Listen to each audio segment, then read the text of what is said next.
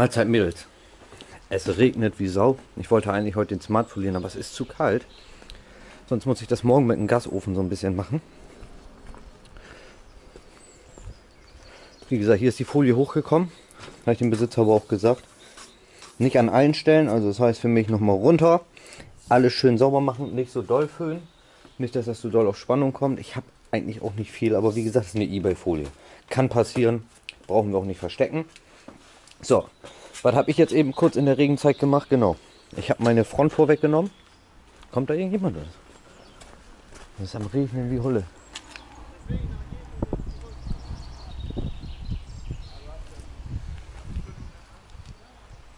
Okay, sind auf jeden Fall nicht für mich die Jungs. Ich habe vorne die Schnute noch mal weggenommen, weil hier ist der Rest Lüfter vom VR. Hier sind ja auch solche Lüfter drin. Hier ist ein einfacher drin. Das war ein Doppellüfter. Die liegen jetzt hier. Die habe ich rausgebaut, weil wie gesagt ich so wenig Platz hatte mit der Ansaugbrücke. Und jetzt habe ich umgebaut auf Motorsport Sparlüfter. Bin gerade dabei, die festzuschrauben mit dem ganzen Gedöns hier, was dazugehört. Und dann werde ich das in die Front, die ich natürlich schön ausgeflext habe, einmal in der Runde. Schön Platz gemacht, kommt die ganze Geschichte dort wieder rein.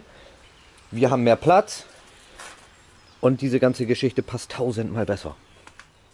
Ne, ich muss hier auch noch einen Schlauch bauen, der da runter geht. Ich muss noch einen Hühnerdraht in den Kasten machen, nicht, dass der mir den Filter ansaugt oder sonst was. Ja, hier habe ich leider nur die Möglichkeit, den mit zwei festzumachen. Das wird auch erstmal so gehen, weil die sind bombenfest. Ne, ich habe das hier mit so Bauschrauben gemacht. Und dann noch selbst sicher eine Schraube oben drauf. Den muss ich dann noch nachziehen hier. Dann mache ich jetzt hier noch einen hin. Immer gegenüberliegend. Dann verkabel ich die aneinander. Und dann kann die Maschine richtig losgehen. Ja. Das ist erstmal so der Plan jetzt hier, ne? Ja, ich habe einige Abstimmer gefragt wegen äh, EMU-Steuergerät. Jungs, ich bin ganz ehrlich, die wollen alle einen Heidenkohle dafür haben. Ne? Bei mir ist das jetzt mal der zweite, die zweite EMU. Vorher hatte ich mal eine EMU Black im Golf 1 zum Beispiel. Habe ich mich aber nie wirklich mit beschäftigt. Das hatte ich ausgebaut und verkauft, weil ich der Meinung war, ich will wieder alte Schule haben. So, jetzt habe ich das Ding genommen. Da ist eine, auch eine EMU drin. Der Motor läuft auch schon. Aber jetzt will ich natürlich eine perfekte Abstimmung haben. Und äh, ja, jetzt gehen die Probleme los.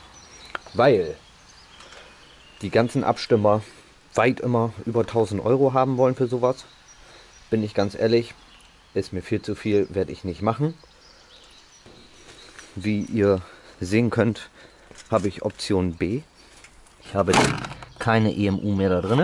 Ich habe meine EMU weggeschickt zu einem Spezialisten, der mir diese EMU äh, ja erstmal frei macht. Sag ich das mal so. Der macht mir die frei mit, ne, mit, ne, mit, mit, mit einer Pfeil drauf, wo ich selber drauf aufbauen könnte und wie auch immer. Wie gesagt, ich habe das Ding gerade verpackt, das Ding geht weg. Die Gockelabstimmung, die da drauf ist, ist dann Fujikato. Und äh, dann kriegen wir erstmal was anderes. Ne? Und dann gucken wir, dass wir da selber dran rumfummeln und rumfingern. Und wichtig ist halt für mich, dass ich eine Basismap drauf habe, dass der Wagen läuft und fährt und dass ich die restlichen Einstellungen auch, äh, sag ich mal, selber machen kann. Ne? Mich selber da ein bisschen dran rumprobiere. Und wenn der Motor in Arsch ist, dann ist er halt in Arsch. Ne? So wird das sein. Oder auch immer, keine Ahnung. Also die Ab Abstimmung, die ich da drauf kriege, die er mir da drauf feuert, die ist schon krank. Ne?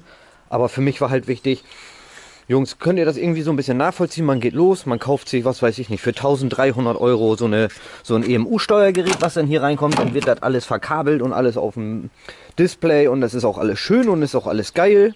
So, dann kommt aber die Problematik, du kaufst das Ding für so viel Geld. Ne? So. Und dann willst du mal auf deine EMU selber zugreifen. Kannst du aber nicht, weil die Dinge alle passwortgeschützt sind. Das heißt, du gibst tausende von Euros aus, fährst zum Tuner, bezahlst dort auch nochmal Tausende von Euros, dass er dir die Kiste abstimmt. Und wozu kauft man sich ein frei programmierbares Steuergerät? Damit ich das frei programmierbar oder, oder frei programmieren kann. Also das ist meine Meinung dazu. Ne? Damit ich das, der Kunde, der das kauft, frei programmieren kann. So, dass der Tuner da seine Software schützen will, das verstehe ich. Aber alle anderen Tools, so wie das Bluetooth-Modul, du bist immer wieder auf deinen Tuner angewiesen, weil der muss sein Passwort eingeben dann ist die EMU erst auf und dann kannst du irgendwelche Einstellungen, Parameter, weiß ich nicht, Zusatzanzeigen freischalten und und und. Finde ich mega kacke, bin ich ganz ehrlich.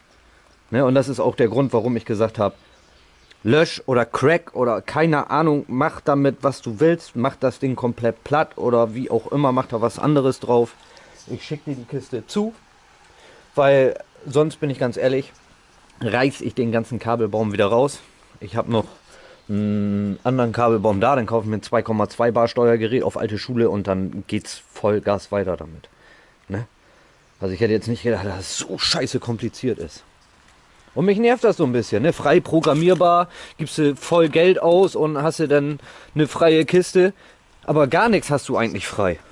Im Gegenteil. Die ganze Kiste ist komplett passwortgeschützt und du kannst gar nichts machen. Habe ich aber auch Verständnis für. Wie gesagt, ne? Der muss ja seine Software schützen. Aber für mich ist das doch doof, ne?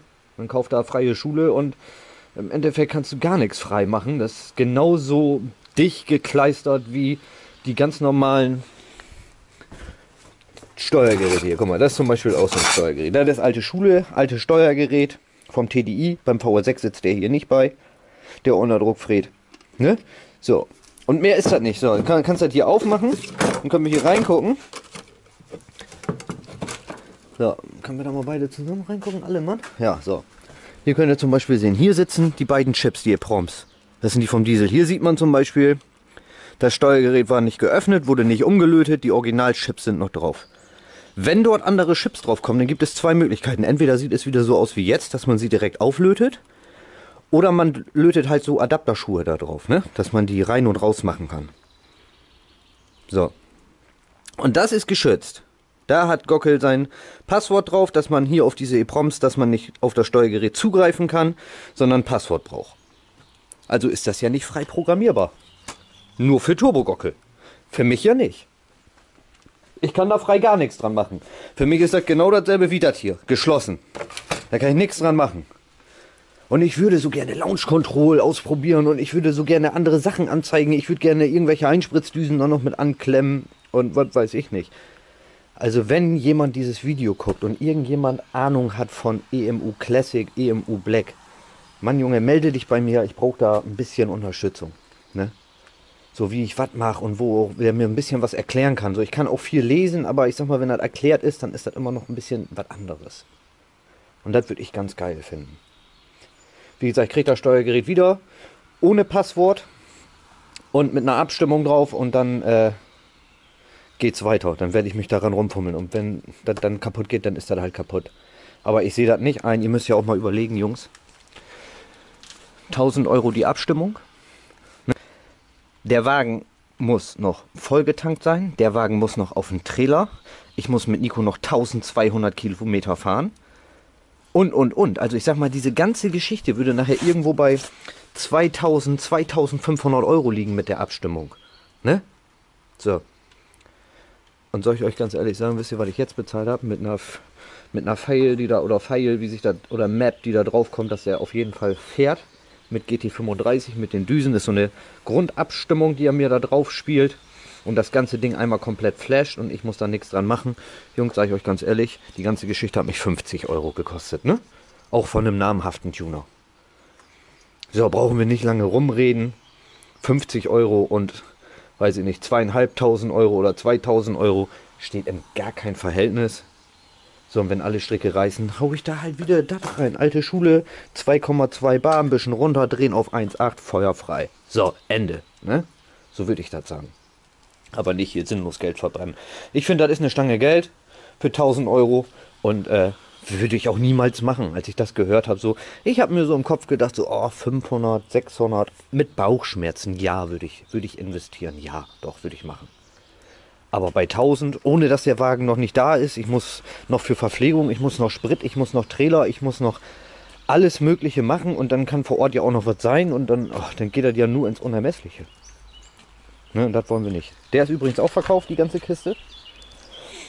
Also, wie gesagt, ich habe jetzt privat über Facebook, über die EMU-Gruppen oder ECU Master, Classic, egal wie, habe ich einen Typen ausfindig gemacht der mir direkt freundlicherweise sofort unter die Arme gegriffen hat und hat gesagt, Ja klar, kein Problem. Baut man ab, schickt man her, mach ich fertig.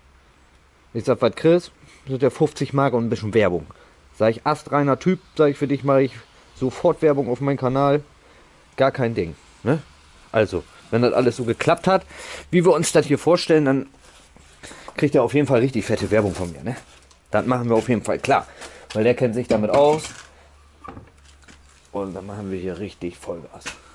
So Jungs, aber jetzt machen wir erstmal das fertig, bauen das mal ein und gucken uns das an. Bis gleich, Jungs. Ja, Jungs, den Kühler habe ich schon wieder reingeschraubt. Von vorne sieht das jetzt so aus mit schön dicke Unterlegscheiben, damit er nicht durchreißen kann. Schön festgemacht. Ne, auf vier Punkte. Die sind auch super leicht, das sind nur aus Plastik. Von hinten sieht das jetzt so aus. Ne, ich habe hier so schöne Spannmuttern, aber noch halt äh, eine selbstsichernde drüber jeweils. Hier ein bisschen kurz, aber macht nichts. Äh, das passt auch alles 100%. Ich habe alles schön weggeflext hier. Ne, den ganzen Kreis. Jetzt sind die beiden Lüfter drin. Die werde ich noch schön aneinander machen. Werde die schön verlegen hier oben hin. So, und wenn wir jetzt gucken, dann haben wir richtig Platz. Ich werde jetzt meinen Ladeluftkühler wieder vorsetzen. Der steht nämlich da. Und dann gucken wir uns das ganze Paket mal an, wenn das da gleich vorsetzt. Ich bin gespannt, wie viel Platz wir haben. Seid gespannt, bis gleich. Mila, was du da? Ja, komm mal hier rein. Feine Maus, hast du schon Hallo gesagt heute? Nee, nein, nicht an den Kühler. Weißt du ja. Jo, fein, ne? Jo, feine Maus. So, weiter geht's hier im Takt. Ja, ja, ja, ja. Geile Nummer. Da werden wir gleich richtig Platz haben. Naja, Jungs, ich muss das fertig bauen. Wir sehen uns. So, Jungs. Das Kühlerpaket ist fertig. Könnt ihr sehen, die Sparlüfter dahinter? So kann man durch den Kühler echt durchgucken. Ja, was vielleicht für euch auch interessieren würde, ist zum Beispiel, welche Sorte von Lüfter brauche ich überhaupt? Ne? Das kann ich euch ja auch mal eben erklären. Guck mal, hier ist zum Beispiel die Variante jetzt hinten. Ne? Ich habe die Kühler, äh, die Lüfter hinterm Kühler. Das bedeutet Variante saugend. Dann gibt es noch die Variante, die vorne vorgeschraubt wird. Die ist dann natürlich blasend. Ne? Hört sich zwar doof an, ist aber so. Ne, man kann auch hier die Kühler, die Lüfter vormachen, aber hier hätte ich zu wenig Platz. Könnte man das sehen? Viel zu wenig Platz. Ne? Nur mal so als Info. Dann gibt es hier in verschiedenen Größen. Das sind Motorsportlüfter, nennen die sich. Spal. Ne, gibt es auch von anderen Herstellern. Ne? So, dann, was habe ich gemacht? Ich habe mir einen Zollstock genommen, so wie hier. Bin zu den Kühler hingegangen. Habe mir den Kühler so vermessen. VR6 Kühler. Habe gemacht so. So, ungefähr 60, 61. Ich sag mal, der ist so 63. Dann habe ich die Höhe noch genommen. Zack, der ist ungefähr 41,5 bis 42 hoch. Und dann habe ich geguckt, welche äh, Größe ich an Lüftern kriege. Und dann habe ich zwei 28er Lüfter gekriegt. Und habe noch ein bisschen Platz und ein bisschen Luft dazwischen. Und funktioniert 1A, habe ich schon oft so gemacht. Ne? Nur mal so als kleiner Tipp. Es gibt auch noch, viele übertreiben auch. Man kann auch hier noch zwei vorsetzen. So, ne? Dann sieht das einfach gefährlich aus. Vielleicht mache ich das ja auch noch. Der bringt zwar nicht viel, aber so ein bisschen für die Optik, so zwei Dinger da vorne auf dem Kühler wäre auch sexy, wenn die da unten so rausgucken. Schade, dass das Wetter so blöd ist, ne? Ich möchte gerne den Smart weitermachen. So, jetzt werde ich aber wahrscheinlich wieder meine Heizung holen. Hier rein, Tor zu. Weil der soll auch fertig, ne? Ich will den ja auch weghaben von hier. Das heißt, er muss jetzt nicht zwingend, aber ich will das Projekt natürlich abgeschlossen haben, ne? Das wäre für mich ganz cool. Hier noch alles gehalten, du. Wirklich, wie, wie gesagt, eine Stelle hinten an der Heckler. Das habe ich aber schon beim Folieren gemerkt. habe ich gleich gesagt, ah, das kann nicht halten. Und tatsächlich, das hält auch nicht. Kein Stück, das geht immer weiter. Zieht sich das zurück. Aber egal, mache ich nochmal. Ne? So Jungs, ich stecke das Ding dann mal eben vor und dann hier gucken wir uns mal den Abstand an. Ich nehme die Unterlegscheiben weg, weil ich den Motor vorne ein bisschen höher geholt habe mit zwei Scheiben. Damit das da passte und dann will ich jetzt gleich einen Unterschied sehen. Also, bis gleich. So Jungs, was habe ich noch wieder getauscht? Die Drosselklappe. Klar, ich habe diese hier, die ist zwar aufgedreht, aber hier so ein bisschen oval. Wäre jetzt nicht ganz so wild gewesen. Hätte ich mir wieder ein bisschen hingedengelt. Aber da ich ja jetzt ein bisschen mehr Platz habe, habe ich natürlich die wieder eingebaut, ne? die große. Das ist ja auch der ganze Plan. Dass ich das alles wieder so fahren kann, wie ich das gerne hätte. Jetzt werde ich das Ding mal eben vorstecken, mit zwei Schrauben fixieren. Und dann gucken wir uns mal den Abstand an. Und ich hoffe, dass das passt, was ich mir da so ausgedacht habe. Wir werden sehen. Und wenn nicht, dann werden wir das auch sehen. Jungs, ich kann auch ein, eins sagen. Es ist mega geil. Ich habe richtig Platz. Guckt euch das an. Alles weg. Der Motor kann voll sauber arbeiten. Da wird nichts mehr gegenkommen. Hundertprozentig. Ne? Ich habe hier oben alles weggenommen komplett. Auf Sparlüfter umgebaut. Hundertprozentig. Aber ich bin auch klitschenass. Ne? Den habe ich auch schon drauf. Auch neu. Jetzt werde ich mir dann was bauen, dass wir hier runterkommen. Mir fehlen noch zwei Adapter, die kommen. Weil sonst würde der Wagen auch schon wieder laufen. Geile Nummer. Aber hier komme ich richtig gut an. Hundertprozentig. Da gucken wir mal. Ne, hier habe ich noch ein bisschen Spiel drin. Der liegt jetzt da unten auf. Das liegt daran, weil ich den noch ein bisschen kürzen muss. Und dann schauen wir mal, wie weit wir hier noch ein bisschen rum können. Dass ich so ein bisschen hier noch sitze. Dass ich noch ein bisschen mehr, ein bisschen mehr Luft habe. Ganz klein bisschen mehr möchte ich da noch haben. Der ganze Pollenstaub ist hier überall reingeflogen in die Kiste, ne? Alle Schläuche voll. Ja, Jungs, was habe ich jetzt noch gemacht? Das habe ich noch gemacht. Hier sind noch Reste drin. Die wollte ihr haben. So. Das hier. Machen wir mal kurz hier rein. Schauen wir mal. Wir das da so reingefingert kriegen mit einer Hand. Das natürlich nicht einfach, aber nichts ist unmöglich. Ne? Nur aufpassen, dass er oben liegen bleibt und wenn zur Not schnell genug fangen. Das wäre auf jeden Fall das Thema hier. Ei, ei, ei.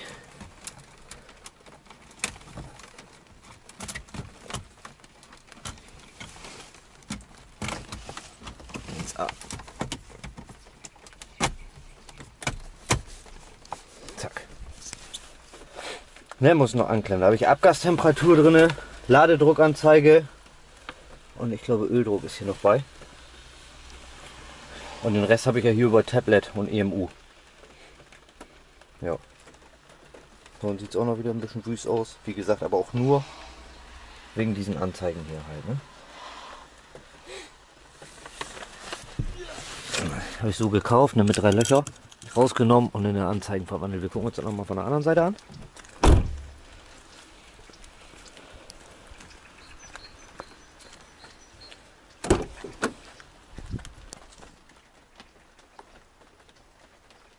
Ne, sieht doch ganz schick aus. Aber das regnet und regnet und regnet und regnet und regnet. Das nervt mich schon. Guck mal, top. Hundertprozentig finde ich das. Ja. Und das einfach nur im zwei Sparlüfter, ein bisschen umgebaut, ein bisschen abgeflext. 1A. Ich wollte mir das ersparen, aber es blieb mir nicht erspart, schade. Ja, machen wir noch irgendwas? Wir können nichts machen. Wo ist? Habe jetzt keinen Ofen. Aufräumen kann ich höchstens noch ein bisschen. Das war es aber dann auch. Oder? Können wir noch irgendwas machen? Ne. Jungs, ich verabschiede mich. Haut rein. Viel Spaß beim Video. Wir sehen uns.